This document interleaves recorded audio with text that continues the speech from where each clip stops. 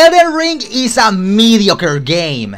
I am not in love with Elden Ring at all. I'll admit that it has some great aspects to it, but I'm not gonna be just sucking this game's dick like I've seen so many people do over the past almost two years.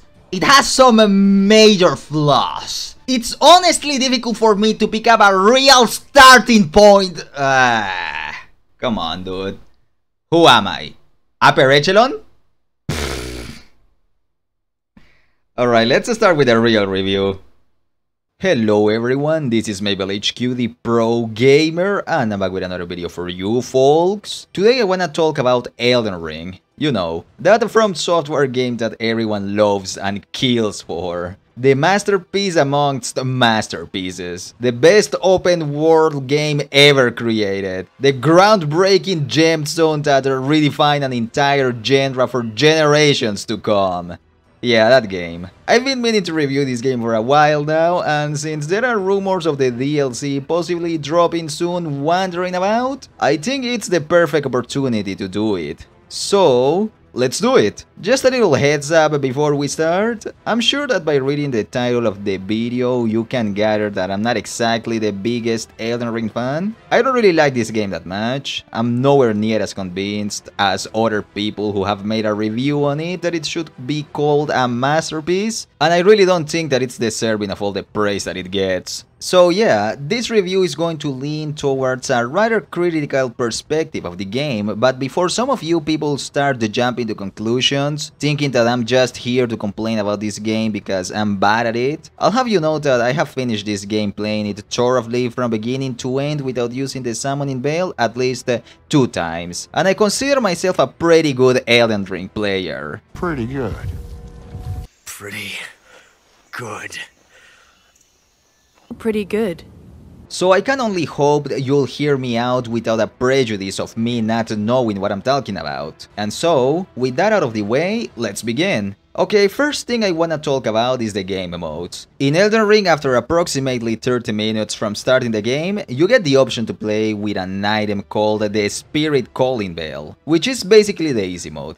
I'm gonna be talking more in detail about this particular item in a moment. Then we have the normal mode, which is uh, playing the game without picking or using uh, the item that I just uh, mentioned. Then there is the New Game Plus, which is supposed to be the hard mode. You can play in this mode after beating the game once and it's basically a start over with everything you unlocked on your previous playthrough and uh, you also get to fight uh, stronger enemies that do more damage and have more health. I say this is uh, supposed to be the hard mode because in reality it doesn't feel like a hard mode, more like an easy mode 2.0 but I'll talk more in detail about this one later as well. And finally we have the New Game Plus 7 mode which is pretty much the same as the one I just talked about, with the only difference being that in order to play this one you need to beat the game 7 times. And in this mode, you're gonna be fighting the strongest versions available of all enemies in the game. They're gonna have like 3 times more health than in comparison with regular New Game Plus, and they are gonna deal even more damage. Now, I'm always down for a challenge, and I would have liked to play the New Game Plus 7 difficulty for the footage in this review, but I simply don't have the willpower to finish this game 7 times in a row, just uh, so I can fight the same enemies and bosses that I previously defeated 6 times earlier but with more health and damage. So instead, for the making and research of this review, I decided to go for a normal playthrough starting from point zero. Anyways, we start the game and we are presented with the, quite the overdramatic opening cutscene that it's supposed to give you a general idea of what the story is going to be about. Oh, rise now, ye tarnished, ye dead, who yet live the ever-brilliant Gold Mask, and Sir Gideon Ofnir, the all-knowing.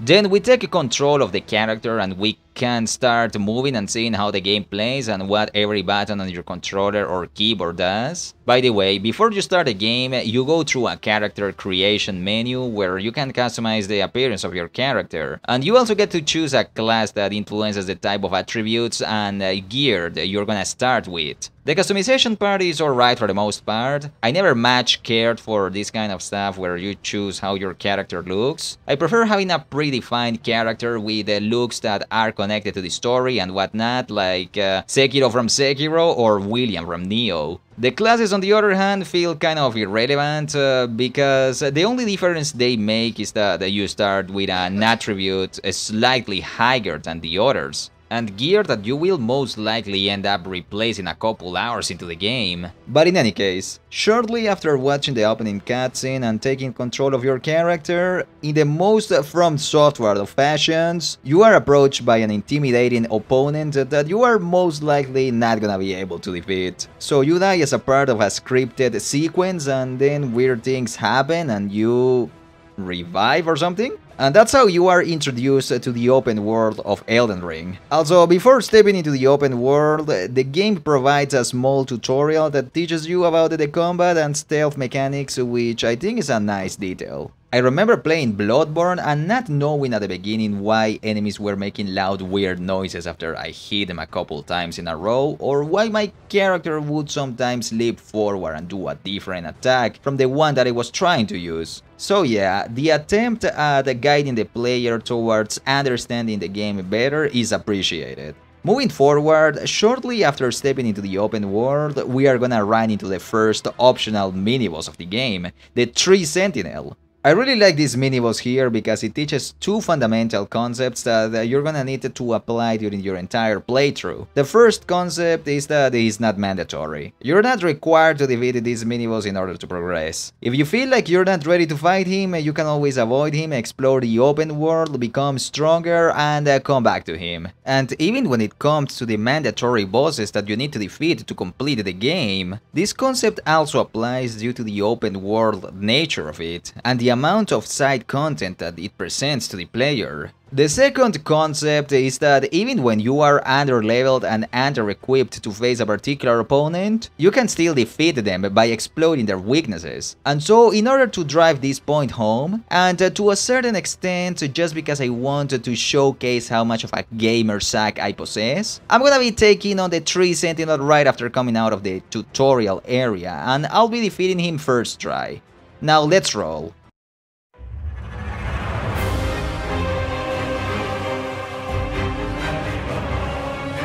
At a first glance, the Tree Sentinel might appear as a very intimidating opponent due to the wide variety of attacks that he can use. Sometimes uh, you'll try to punish one of his attacks after you dodged once, and he'll follow up immediately with another attack the moment you begin to approach him, and he will hit you, dealing a significant amount of damage. You're gonna notice that a lot of enemies do that in this game. They bait you with one of their attacks and uh, react with a follow-up the moment you try to get close closer to them, depending on how far away you are. So that, on top of being underprepared to, to take a few hits from this enemy without dying, might make this fight quite tricky for me to overcome. However, Tree Sentinel has one major flaw in his moveset that I can exploit to defeat him soundly. Whenever you disengage from him and create some distance, he's gonna do this attack where he charges at you and tries to smack you with his weapon. This attack has a long startup animation that makes it very easy to read, and whenever he finishes using this attack, he stays put for like 3 whole seconds, providing a huge opportunity to deal him free damage. So my strategy for this fight is to remain away from him so he uses his charge attack as, as often as possible, and the moment I see him prepping to do the move, I'm gonna run backwards so I can get out of his attack range and be in place to punish his recovery animation after the charge. And uh, just by doing this, I'm easily able to defeat this otherwise formidable adversary that outclasses me in every aspect. And just like I was able to defeat this boss, it's possible to defeat all the other bosses in the game by applying this strategy. There is always gonna be a way for you to turn the tides in your favor during combat and against bosses. You'll just have to get creative sometimes and uh, look for the right opening. Okay, so after defeating the Tree Sentinel, a little farther ahead, we will find the Church of Elleh, or Ele or Ege. I don't know, something like that. And this is a very important location in the game because not only will you find a merchant that sells a very useful item in here, this is also the place where you can activate the easy mode. Let me explain. In this location there is a checkpoint and in this game you can use uh, checkpoints uh, to fast travel. So after heading a little more farther ahead you're gonna find another checkpoint where a cutscene will play out, you're gonna get a horse to traverse the open world and after getting your pony, if you fast travel back to the checkpoint in the Church of Elleh, you're gonna have this special interaction with this blue doll four-armed girl that will give you the Spirit Calling Bell. And here is the interesting part.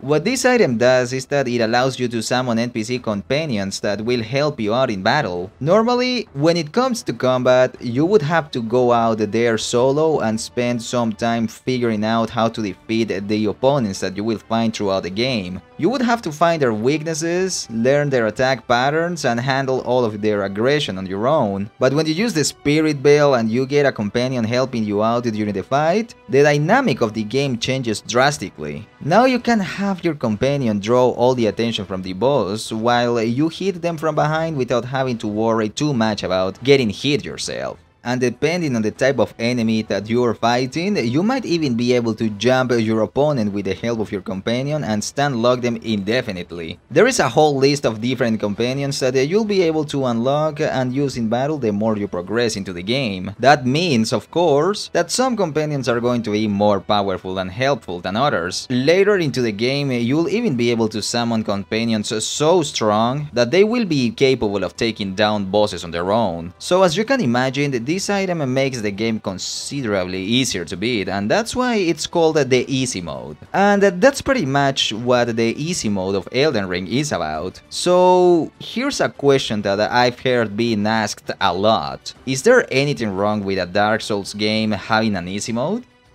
The answer is simple, absolutely nothing. This is a game that requires a lot of memorization and attention to detail, and some people might not have the time to memorize the attack patterns of a boss for 3 hours straight, but they still might be interested in other aspects of the experience that this game offers, be it exploration, the scenery, the story, and whatnot. And some other people are just not cut out for this type of games. So there's nothing wrong with giving players that might have issues adapting to the vanilla Dark Souls experience a way of having an easier time with it. However, if you are someone who has been in the Elden Ring hype train since day one, and you have been following closely the reception that the game has gotten over the past almost two years, it's possible that you've seen some individuals arguing that the Spirit Calling Bell is actually not an easy mode but an intended mechanic and that the enemies and bosses in this game were made with the idea of you using the bell, which, uh, putting it bluntly, is complete nonsense. Just like I showed before with the first mini-boss, all the enemies in this game can be defeated playing solo as long as you know what you're doing. The people entertaining this idea of the combat being balanced around you having an NPC companion just don't know how to play a Dark Souls game and have no idea what they're talking about. Period. One thing that I would have to criticize about this mode is the way you have to get it. Like, uh, why does it have to be this complicated to enable a feature that is meant to help new players or players that struggle with the combat? They did something similar with the hard mode in Sekiro. In Sekiro, if you wanted to have a more challenging experience with the game, you would have to first speak like 4 times in a row with an NPC at the beginning of the game to get an item. Then you would have to get past the tutorial area and then you would have to speedrun your way to a very specific location in order to grab another item and you can't help but wonder why. Why does it have to be like this? Why just not put an option in the main menu or at the very start of the game that allows you to play with the additional features that these items give? I guess it's because uh, it is the From Software way of doing things. They want to feel like unique and special, but uh, I just find this stuff to be so dumb. They could have very well just added an item pickup at the start, or after the scripted death sequence that gives you the spirit bell and they could have explained how it works in the tutorial area, instead of all this uh, nonsense about moving to a checkpoint, then moving to another, then having to wait for a cutscene to play out, and so on and so forth. The way From Software implements uh, these things is just uh, so unnecessary and such a waste of time. I've seen some unfortunate cases of people who aren't very very skilled at Dark Souls games that they decided to play Elden Ring, but they never went back to the Church of Elleh at the beginning and missed the special interaction with the doll girl, and therefore they didn't get the bell and had an infernal experience at the beginning of the game. And when you see cases like those, it makes you wonder, why does it have to be like this?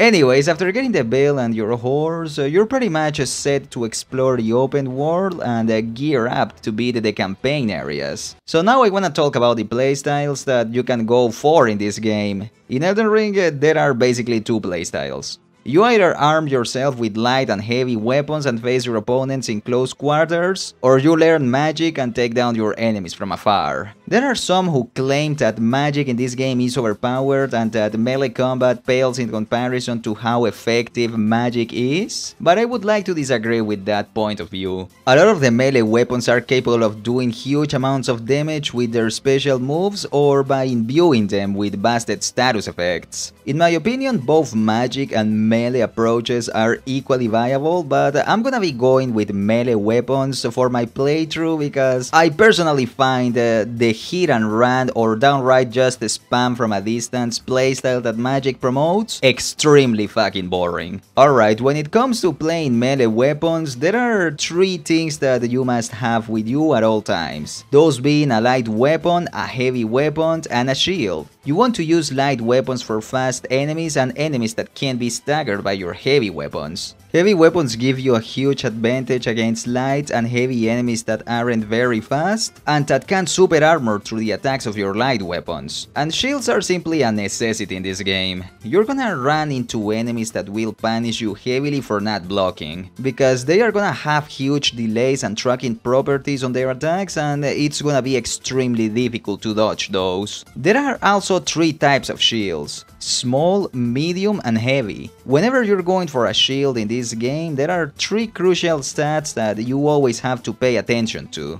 Those are physical damage negation, guard boost, and weight. Physical damage negation determines whether you will take damage or not after blocking a melee attack or a projectile. Your shield should always have a physical negation of 100 or else it will get you killed at some point. Guard boost determines how much stamina you will lose after blocking an attack. The higher the number, the less stamina you will lose. And weight, make sure not to equip a shield that is too heavy or else it will cause you a lot of trouble.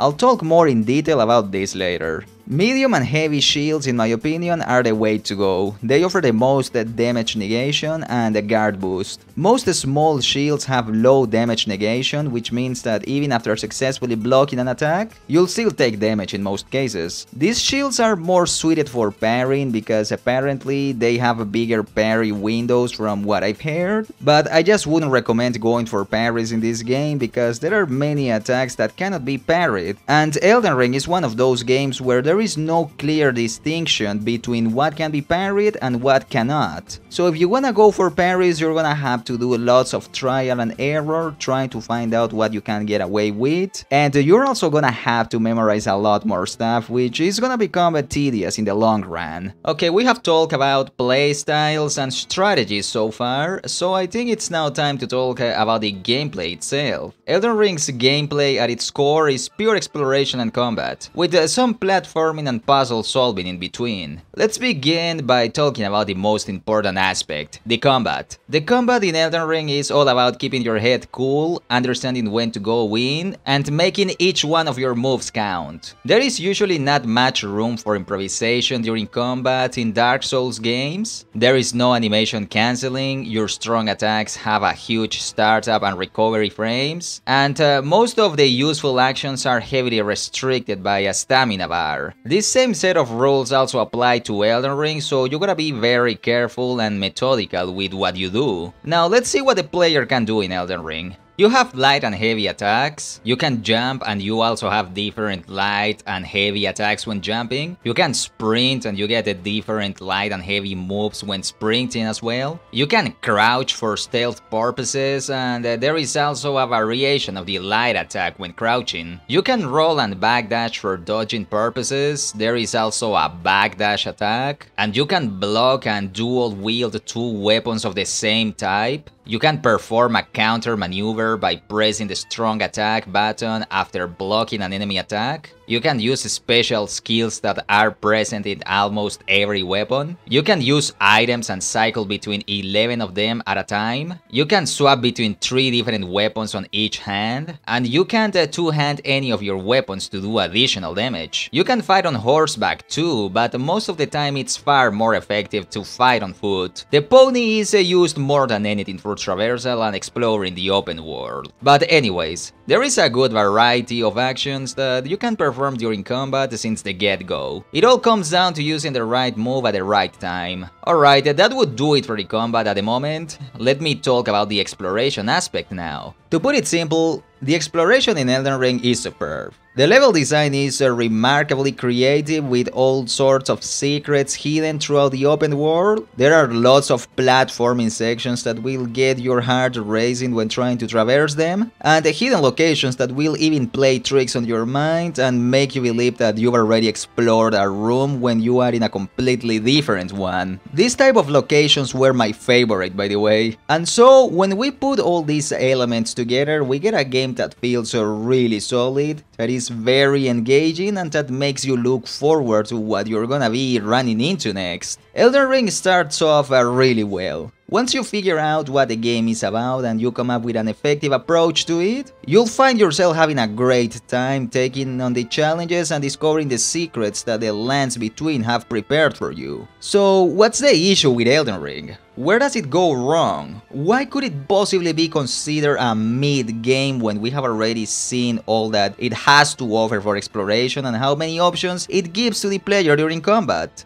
Well, I would say that the problem starts where it begins. The excitement that you get out of playing Elden Ring for the first 15 hours or so just doesn't last long. The first thing that I would like to criticize about this game is the gameplay progression. The gameplay, especially the combat, never moves into any interesting direction. It remains exactly the same from beginning to end. Just to provide more context as to what I mean with gameplay progression, I'm gonna be showing a few clips of other games and uh, you're gonna see how the gameplay looks in those games at the start and how it looks later after some progression has been done. And then we're gonna do the same for Elden Ring of course and compare. So let's begin by checking Nioh 2 first.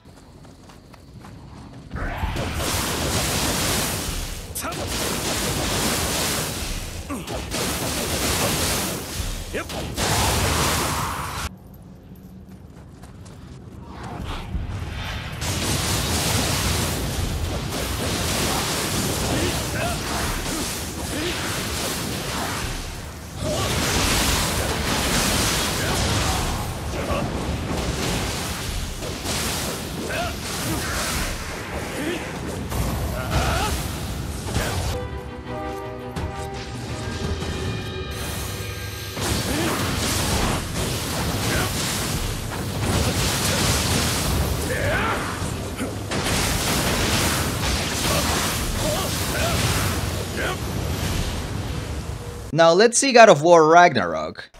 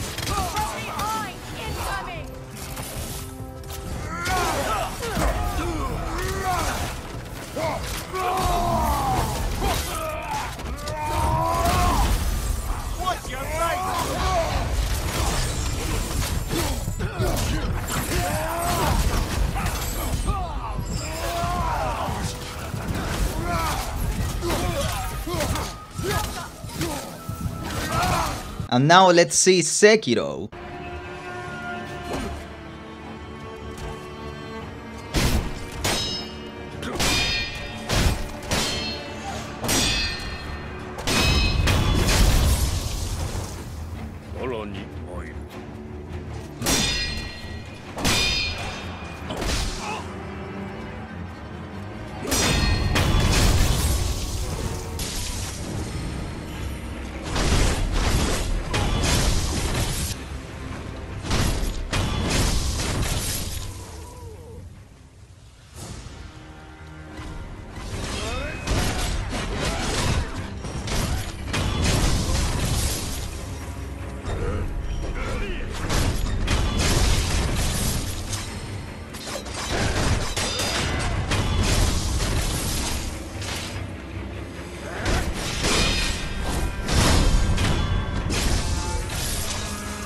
As it can be appreciated, in these games there is a big difference in how the gameplay looks at the beginning and how it looks at the end, because there is actual gameplay progression in them. The further you go into any of these games, the stakes get higher and higher, and the gameplay becomes more challenging and demanding. So in order to allow the player a chance to keep up with the ever-raising pace and difficulty, these games introduce additional mechanics and uh, numerous upgrades to the moveset of your characters throughout the playthrough that provide the player with the means to face the ever-growing odds that the game presents. Gameplay progression is such a beautiful concept, dude. It's a huge factor in any game when it comes to keeping the player engaged and uh, looking forward to whatever is next. Not to mention that it's also a crucial element that allows the player more room for improvisation and experimentation. And in general, it's something that also helps with having the player coming back to the game when all it's said and done. Now let's check some clips for Elden Ring and see how the gameplay progression looks in this game.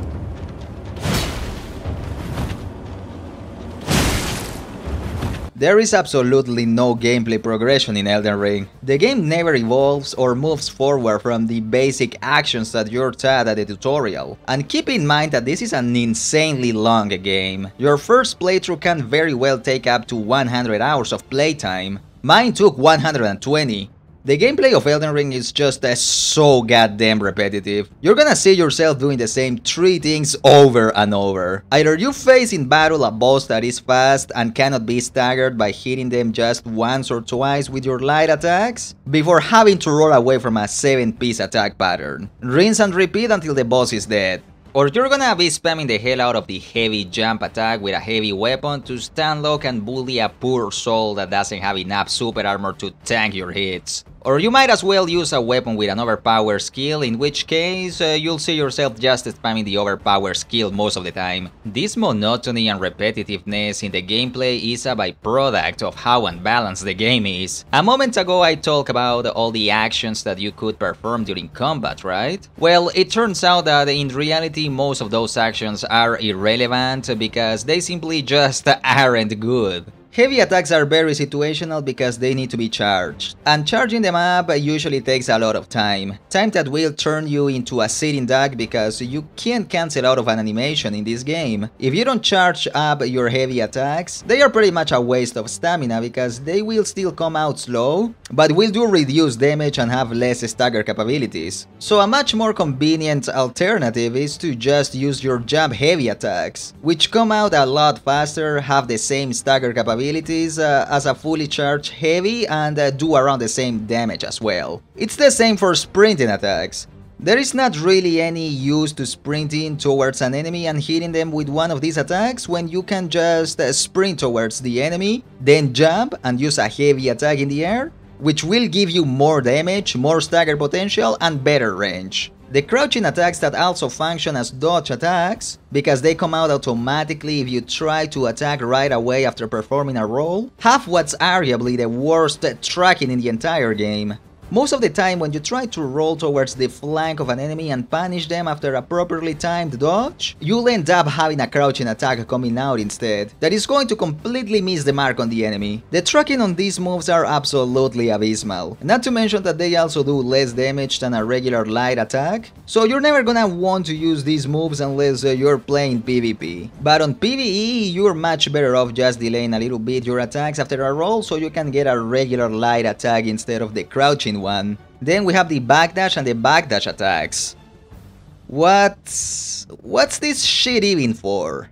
Look, I never played the Dark Souls games, but besides Elden Ring, I have also played Bloodborne and I have seen quite a few gameplays of Dark Souls 3, and in those games this backdash nonsense is also present. I swear to god folks, I have seen plenty of other people play these games and never before I have witnessed a single player that uses this stuff. The backdash is just so useless. There is not a single reason to use this over the roll dodge. If you have ever seen someone use this in any way that makes sense, please let me know in the comments. I need to see that because seriously, why does From Software keep implementing this useless garbage in their games? Backdashes serve zero purpose. They should delete themselves now. So in the end, when it comes down to practicality, you're only gonna be using the same 2 or 3 moves during combat, which are light attack, jump attacks, a few guard counters here and there, and the Ashes of War or special moves on your weapons. And uh, even when it comes to jump attacks, I've seen myself only using the heavy version most of the time, since it is the one that does the most damage and the one that has the most uh, stagger potential, which adds even more to the lack of variety during combat. The combat moveset is not the only aspect of the game that is unbalanced. In this game there is a huge variety of weapons, there are like 15 different weapon types, and each weapon type has like 20 variations or different skins, and weapons are also also divided in two categories, somber and regular. The majority of weapon types feel like one of the many attempts from the developers in making you think there is a lot of substance to this game when in reality all that there is to it is just an inflated number of the same thing that you have already seen before. I say this because despite having all these uh, different weapon types, they all play the same. You have great swords, great axes, great hammers, colossal weapons, and all you ever do with those is spam jump heavy. Then you have the swords, scimitars, axes, daggers, fist weapons and whatnot, and all you ever do with those is spam light attack. I swear to god that I'm not exaggerating this. After finishing the game and hoarding a bunch of different weapons in my inventory, I went into the New Game Plus and played a few extra hours trying out all these different weapon types to see if I was missing on something and uh, dude, they all play exactly the same. The only weapon type that feels somewhat different from the others is the spear and the thrusting swords, because uh, these ones have a special mechanic where they allow you to attack while blocking with a shield, which is ridiculously overpowered by the way, but other than that, uh, it's just the same fucking thing plastered all over the weapon menu 7 or 8 times, which is crazy. There is more variety when it comes to Ashes of War, the special moves on your weapons, of course, but whatever weapon skill that is not some sort of short-range melee attack that launches enemies into the air or knocks them down, or a busted long-range move that hits enemies through walls or tracks them down to the end of the earth, is usually not a good Ash of War either. But I digress. I kinda went on a tangent there for a moment speaking about how monotone and repetitive the weapon system also is, because uh, that's not even the point that I was trying to make. I was originally talking about uh, the balance issues, right? Well, despite most weapon types playing the same, the factor that plays a big role in determining which weapons are gonna be good and which ones are gonna be bad is the somber and regular categories. The Somber weapons are these uh, super ultra badass weapons that can only be upgraded using Somber smithing stones. You mainly get uh, these weapons by completing secret dungeons or defeating bosses. But here is the thing. You can't change the Ashes of War in these weapons nor imbue them with special attributes. Whereas for the regular weapons that are upgraded with regular smithing stones, you can customize their Ashes of War aka special moves and imbue them with special attributes by finding whetstones that can be found by exploring the open world and going to a checkpoint. Doing this drastically increases your damage output by either customizing your weapons with a powerful Ash of War or by imbuing them with powerful attributes like Frostbite and Bleed. Time for an anecdote here. The first time that I played this game, after defeating one of the very first bosses, Godrick, I didn't know any better and I decided to go with his weapon, which was a Somber one, and arguably one of the worst weapons in the game. I tried the Ash of War, which was very slow and most enemies would just uh, dodge it or interrupt you when using it. And then at some point I wanted to try the items that allow you to imbue weapons with attributes for a short period of time. Just to realize a moment after that for some reason I couldn't even use those items in this weapon. I didn't think much of it at the beginning, I thought that it was a silly bug or that I didn't meet a stat requirement to use those items, so I just kept going. The thing with Elden Ring is that you kinda have to take a decision early on and stick to a couple weapons because the upgrade items are pretty scarce. So that means that if you want to try new weapons later on, you either are going to be fighting with under level equipment for a while, or you'll have to go to a mine and farm upgrade items for hours on end. And fuck that in all honesty. There is nothing more boring than farming or grinding in a game. But anyways, I kept going with the Somber weapon, I was being able to get through the game without much struggle, I was defeating most bosses first try, although some fights were taking quite a bit of time. But then I reached the endgame and I encountered what I call the Trinity of M which are three endgame bosses whose names start all by M, like Maliketh, Mohg, and Malenia. These are three of the toughest bosses in the game.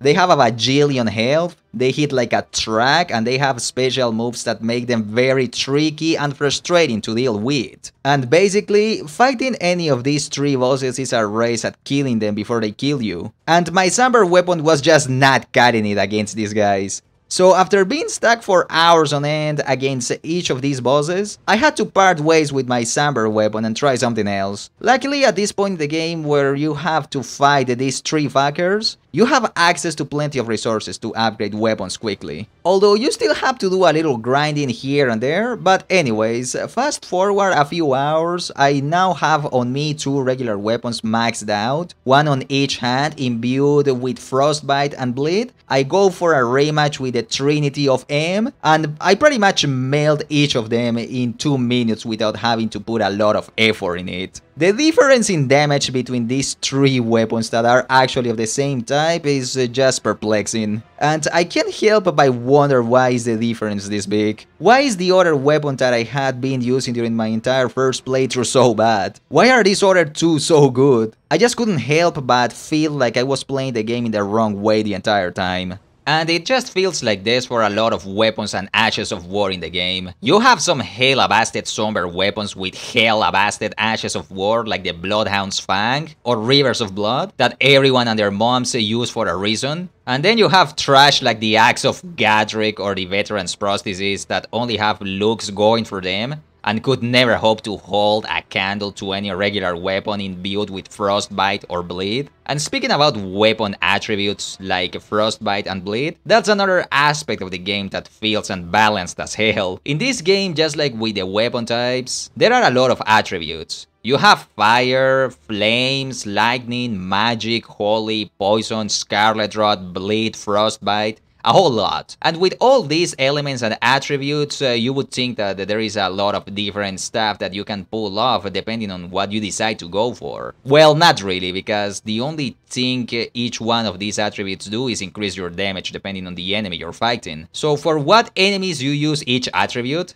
I don't know and you will probably never know either. In Sekiro there were also a bunch of attributes and elements that you could use in your weapons and uh, they all had some kind of special effect that made them unique from each other. Fire would temporarily stop the posture regeneration on enemies. Lightning would momentarily paralyze enemies in place. Poison would start draining the health of your opponents. Divine would increase the damage of your melee attacks and allow you to hurt phantom enemies. Blood would increase the speed and range of your melee attacks. They all felt like they served a specific and unique purpose, and uh, could be used in many creative ways. In Elden Ring, like I said, that's all thrown off the window and uh, all this stuff is just meant to do more damage. But now there are too many attributes and there are too many different enemy types. And the game doesn't put any effort into actually letting you know who you should be using each attribute on. There was a very similar system to this one in Bloodborne, but in that game it worked because there were only two attributes and only three enemy types, and the game made it clear from the get-go who you should be using one of those attributes on. I think you are told in a cutscene or a dialogue with an NPC very early on that beasts are weak to fire, and from there you can assume that lightning affects demigods and humans the most. In Elden Ring I could only figure out after two playthroughs that uh, fire does a lot of damage on plant enemies like the avatars and the big ass flowers and that lightning is somewhat effective against the Astel natural god of the darkness or whatever his name is. But other than that, I could never understand what magic is used for, what holy is used for, what the difference between fire and flames is. Poison is kinda useless if you don't mix it up with Scarlet Rot. Scarlet Rot cannot be imbued to weapons and you can only get it on very specific items and magic spells. And then you have uh, Frostbite and Bleed that pretty much make all of the other attributes useless. These two attributes are by far the best in the game. What they do is that they remove a big chunk of an enemy's health bar when you fill up a meter after hitting the enemy several times. And oh my god, these things just melt everything. Most enemies in the game are vulnerable to either one or the other, if not both. So you don't really have to go out of your way to do trial and error trying to figure out what you need to use for on a specific type of enemy. And they just do so much damage, especially if you use them together that there is no point in even considering using any of the other attributes when you can use these two instead. This is yet another example of the developers putting lots of stuff in this game only to inflate the numbers and make it seem like it has a lot of depth when in reality everything is the same shit with a different color. Or it's so poorly balanced that it becomes irrelevant for the most part. The talismans in my opinion are the most interesting system in the game and the one that feels the most balanced as well. The talismans are items that you can discover exploring the open world and uh, they grant you special bonuses when you equip them like increasing your stamina bar or your health bar or making your ashes of war do more damage. That kind of stuff. You can equip up to 4 of them at a time and granted uh, they don't really do much. Like the bonuses that you get out of them are very minor increases.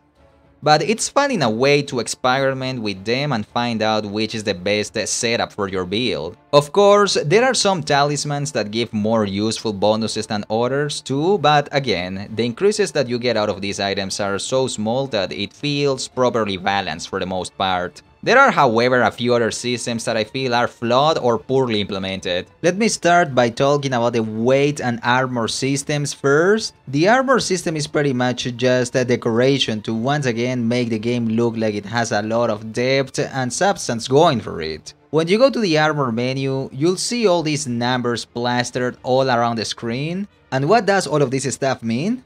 Well, to put it simple, it means absolutely nothing. It's just a bunch of bollocks. You can disregard all the information being shown to you on screen and just go by the weight of the armors alone. The higher the weight, the higher the damage reduction that you'll get out of it.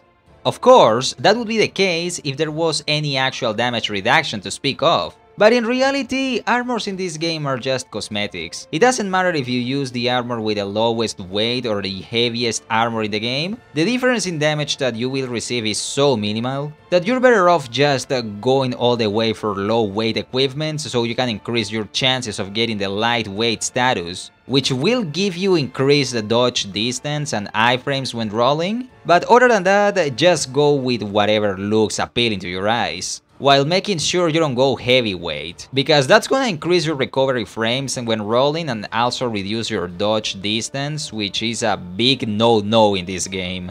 On a side note, I can't help but wonder what's even the point of this game having a weight system once you see how ineffective heavy armor is, and armor being the one thing that influences your weight the most. Again, another example of the developers just cramming this game up with unnecessary stuff to make it look more profound and deeper than it really is.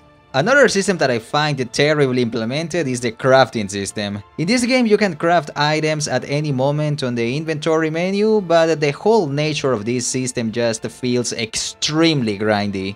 A lot of the useful items that you can craft require excessive amounts of materials in order to be crafted, and materials that you'll find so infrequently unless that you go out of your way and go to a specific location to farm the aforementioned material for hours on end. A good example of this would be the third material needed to craft any of these four items that I'm hovering over on screen right now. I want you to picture this. At this point, I'm on New Game Plus and after completing the game once while doing a fair amount of exploration and never using the crafting feature beforehand, I was only able to find 8 pieces of this material. So if I gather more of the other materials required to craft this stuff, that means that I will be able to craft any of these items 8 times before having to do another whole playthrough worth of exploration to get a few more strings. The amount of grind and farming that they expect you to do in order to use this system consistently is just uh, so insane.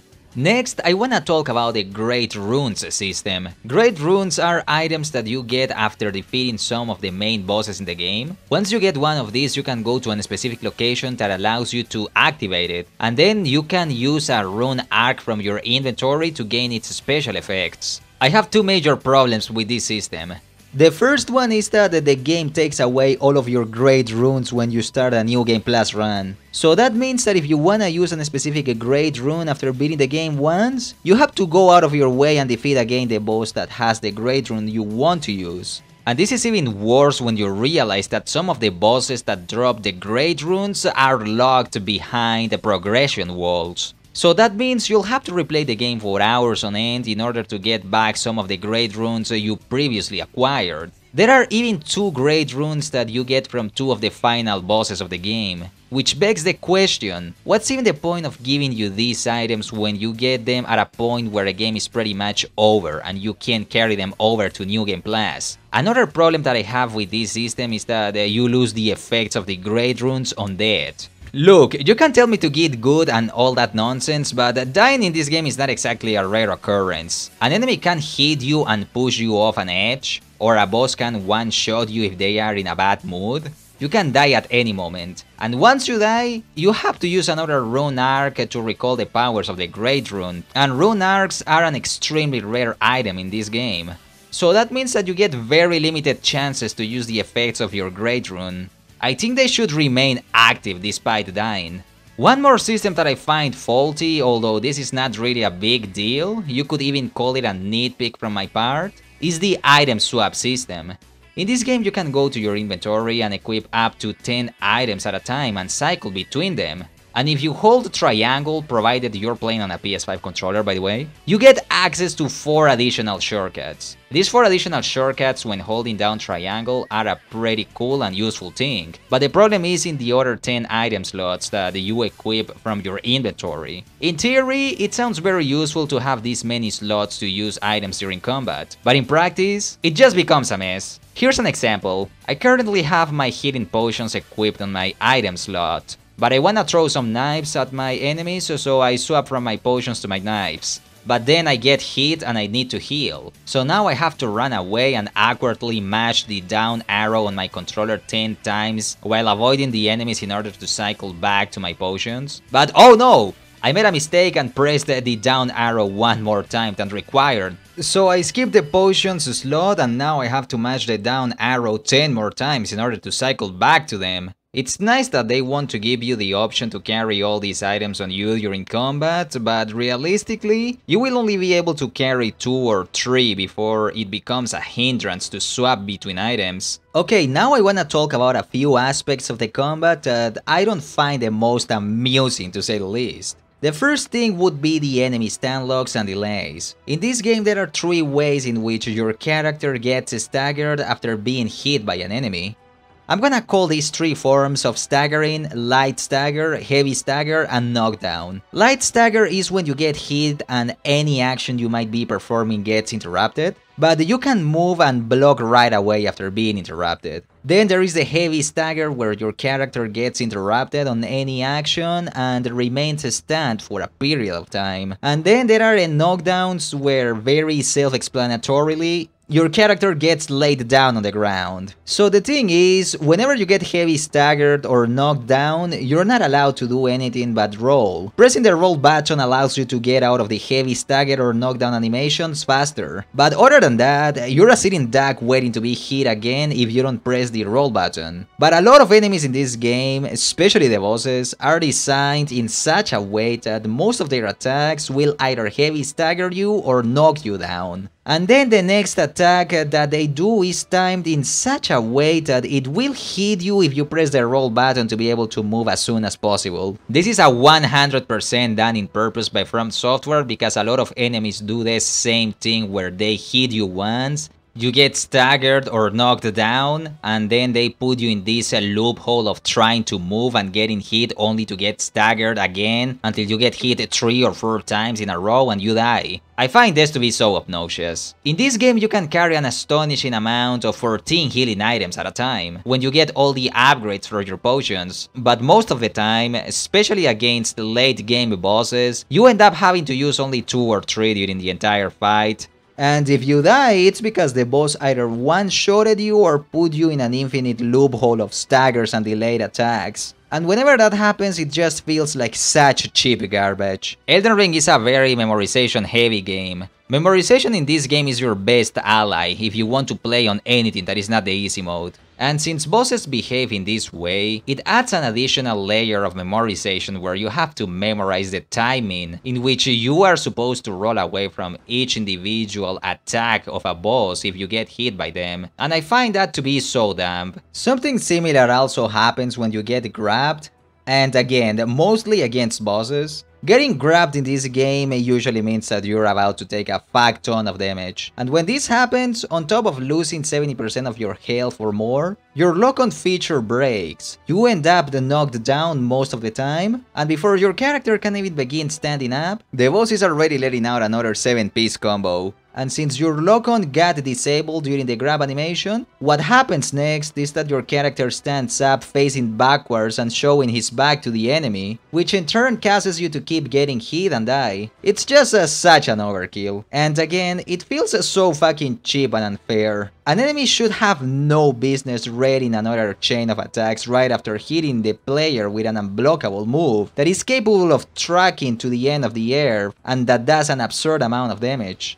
And we obviously can't forget to talk about the camera. Like I said before, I didn't play any of the Dark Souls games, so I can't comment on how the camera behaves in those. But I have played Bloodborne, Sekiro, and Elden Ring, and uh, Jesus Christ, the camera is just as crappy as I remember it. Is it like a From Software tradition to make enemies that don't even fit the screen and make the camera spin and zoom in to annoy the player as much as possible or something? You have to look no farther than at any fight against the Tree Spirits, or any dragon encounter in Farum Azula, or any Deathrite Bird to see how much of a mess the camera can become in this game. Not much else to comment here. Let's just say that quite often the camera is less than ideal. A few other aspects of the game that I have to criticize would be the stealth. The stealth in this game is just a far cry of what it was in Sekiro, where you had plenty of tools to stalk your prey and you could ambush your opponents from all directions and heights. Stealth in Elden Ring doesn't go beyond crouching and hiding in a bush, to get an enemy with a fatal strike from behind, that quite often won't even guarantee you a kill. Which once again leaves me wondering, what's even the point of this stuff being in the game? Which is kind of a silly question because at this point we already know that it's to cram the game up with as much useless and irrelevant relevant stuff as possible to make it look deep. Now I said very early on that I would speak about this later and here I am.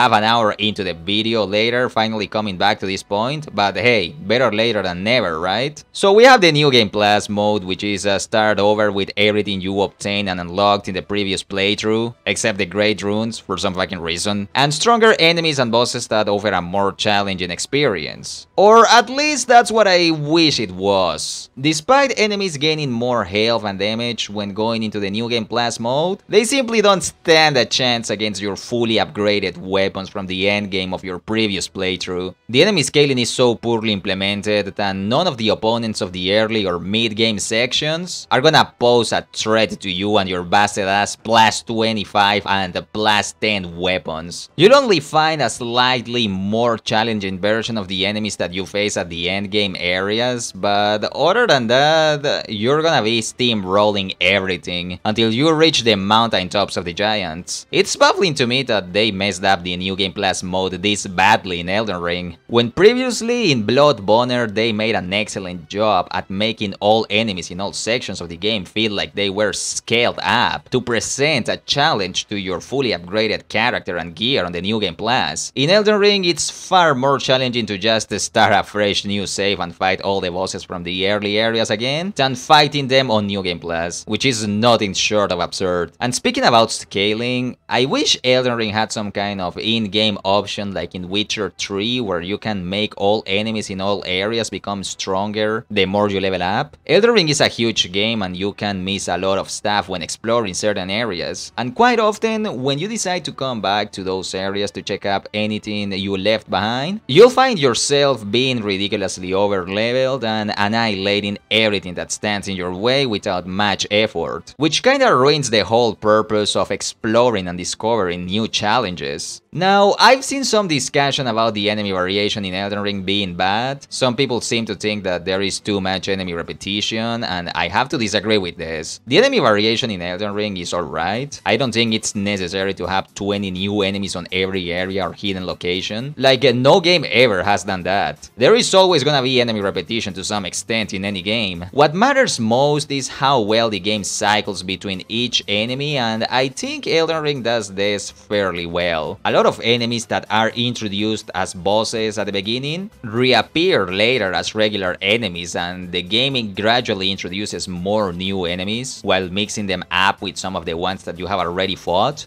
It's cool. And the last thing that I think would be worth mentioning about this game would be the story. Look, I'm not gonna sit here and criticize the story for the way it is told, and I'm not going to pretend the story had a big impact in the way I ended up feeling about the game, because that would be a huge lie. I'm a sucker for games like Doom Eternal or Nioh that also have super disjointed narratives with a lot of elements that are open to interpretation and whatnot. Just like in Elden Ring, and I didn't have a problem with the way the story was in those games either. I am of the mindset that uh, your criteria for judging a game should mainly be the gameplay elements. The story is always secondary because what matters the most in a game is the enjoyment that you get out of playing the game, not from watching a cutscene or a cinematic. So at the end of the day, I didn't care much for the story, I honestly didn't understand what it was about. There was an encyclopedia worth of lore in the descriptions of every item in the game, but I just couldn't be bothered to read all of that stuff. If there was something I would have to criticize about the story, it would be the characters. I feel like a lot of the characters could have had more screen time and uh, could have played a more active role in the narrative. I would like to make my case here comparing the two big old guys from Sekiro and Elden Ring, the Owl and Godfrey.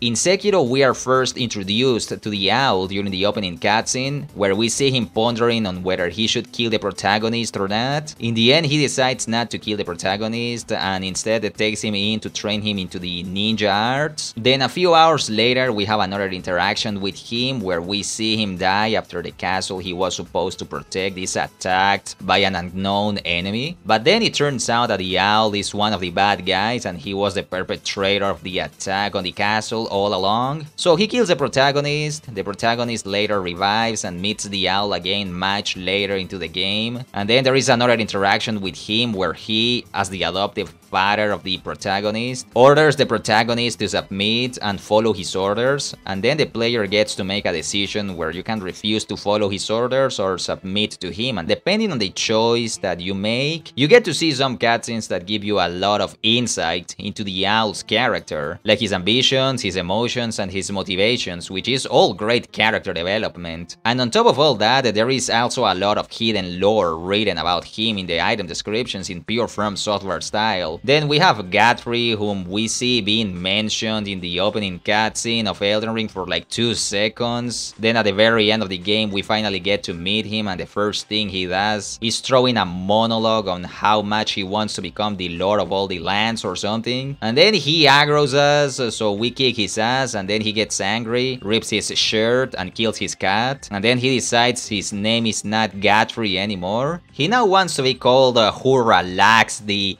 warrior or some shit like that and then I decide that I've had enough of the ramblings of this drunk old man so I send him to the afterlife and that's all we get to see of Godfrey, the first cringe lord. So you see how differently both characters are handled despite both of them being very prominent characters in their respective stories? The Owl is a great From Software character. Godfrey sucks. Another example that I have of this is Mohg. This guy has a super cool design, he sounds like he has a frog stuck in his throat. Welcome, honored guest, to the birthplace of our dynasty and has this malevolent aura all around him. And if you know about his lore, you know he's pretty fucked up in the head. He's a really interesting character that would make for a pretty good villain, but unfortunately all we ever get to see from him is a 60 seconds cutscene where he climbs up from a pool of blood, says some weird stuff, then he dies and we never hear from him again. These characters feel like a lot of wasted potential in all honesty. And just like Godfrey and Mohg, a lot of the other characters in Elden Ring, if not all of them, feel like they were executed in a lazy and uninteresting way like this. I feel like the narrative and the open world setting could have benefited greatly from giving the most prominent characters more screen time and more relevancy to the plot, instead of just being a bunch of guys that you speak to for 2 minutes and never see again or you just straight kill them. I would comment on the music as well, but music is a super subjective matter at the end of the day, so I'll just say that the soundtrack is definitely an improvement over Bloodborne, where pretty much there was no music outside the boss arenas, and the hub area, but I still didn't like it in general. There are some good songs here and there, but whatever that doesn't feel like a ridiculously overdramatic opera is a gloomy tune that makes me sleepy most of the time. Alright folks, that's gonna be the end of the video for this time. Uh, give me a second, I need to read my script. Uh, I want to apologize in advance to anyone who watched me play this game on stream. Sorry if this review isn't what you were expecting. I try to have fun with this game, I try to enjoy it, I try to love it, but I just couldn't. I just find too many issues and stuff that doesn't make sense in it. Especially with all the different systems that the game tries to handle but that doesn't quite do it in a proper way, and with how repetitive and monotone the gameplay feels. The exploration is by far the best element that this game has to offer, but in my opinion, exploration is only a one-time deal. You've done it once, uh, you've done it all. So that doesn't really give me much of a motive to continue playing the game either. So could it be possible that with the upcoming DLC for Elden Ring I'll change my mind about this game? Most likely no. I don't think no amount of DLC will fix the gripes that I have about this game. It'll probably double down on the, on some of the elements that I find flawed, like more weapon types that will play exactly as the current ones, more busted weapons and skills that will make the game even more unbalanced, and uh, more bosses that will stun lock you to death or one-shot you. So here is the big question. Would I recommend a game that I consider mediocre? My answer should uh, probably be no. But uh, since this is a huge game and the exploration can be somewhat entertaining, I would say only play it if you can get it on sale or pirate it. Nothing more. Definitely don't pay full price for it because it could disappoint you just like it is it like it disappointed me. Alright, quickly now. My favorite parts about this game. Best male character in Blood Guy. In blood. In blood! Most based character in Blood Guy. In blood. In blood! Best female character. Anastasia the Tarnished Eater. Please eat me, baby. Funniest character in Blood Guy. In blood. In blood! Best waifu in Blood Guy. I mean, Lionel the Lion-Hearted. Best reason to replay the game in Blood Guy. In blood. In blood! Best level of the game, Liurnia, because you can find in Blood Guy in there. In blood. In blood! Best boss, Radagon and Elden Beast. Honorable mention to Godskin Duo. Best song, Mohg's Team. Conclusion, Elden Ring is for gamers. Is it a masterpiece? Who cares about that crap? Get it on sale or pirate it out of 10. Like or dislike and subscribe. Busy India.